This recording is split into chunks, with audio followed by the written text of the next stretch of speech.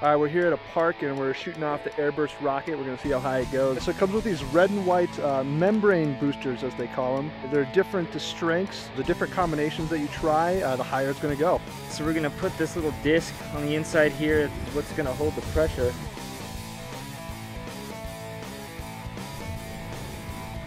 All right, we have this connected to a little hand pump over here. Nice. Here it comes. One red, uh, supposedly 90 psi and goes about 600 feet.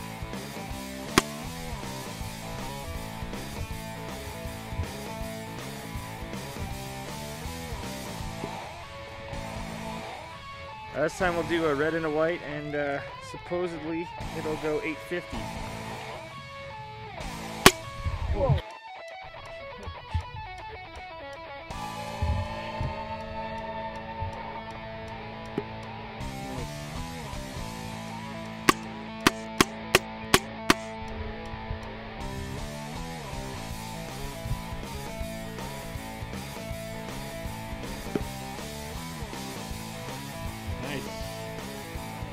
I'd say it works.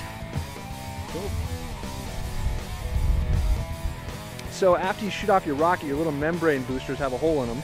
You're probably wondering where you can go to buy more components. Just check out stevespanglerscience.com. Type in Airburst rockets and look for the refill kit. Have fun.